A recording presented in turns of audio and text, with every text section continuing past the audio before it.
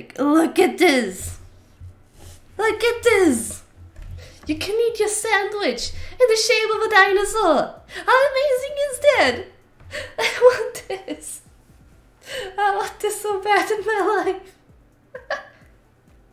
Imagine all the things like I can make dino shaped schnitzel out of it. Oh my god! I think it just had a genius idea. Okay, to be to be fair, I think I think dino dino shaped are just a chicken nuggets at some point. Just different meat, unless I do I make it with chicken. amazing, I know, right? It's so amazing. I mean, Plutie be Plutie.